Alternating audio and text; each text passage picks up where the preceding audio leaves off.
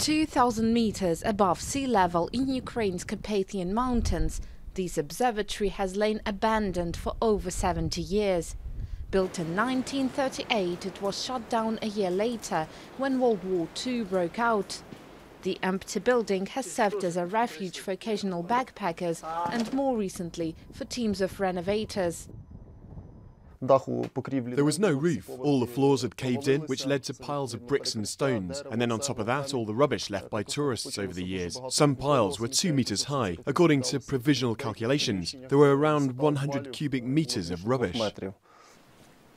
In 2008, a group of Ukrainian and Polish scientists received a 900,000 euro grant to rebuild the observatory. Yet with only 60 cloudless nights a year, its location is no good for stargazing, leaving the scientists to explore other ways it can be put to use. First of all, it could serve as a meteorological station that would collect data automatically. Secondly, it could help study the quality of air and its trans-border movement. It's very important. They pay a lot of attention to such studies in Europe.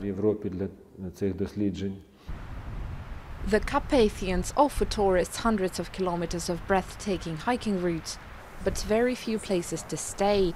It's hoped the observatory, located in the heart of the national park, can help fill that gap. Проблема того, що такі об'єкти повинні бути по всьому Чорногірському. It's a pity that we don't have many sites on this mountain range to create a trail. So this observatory could become the first step in the development of modern tourism in Ukraine, just like in other European countries. європейських туристичних осередків. The renovation process has been long and arduous thanks to the site's extreme climate and remote location.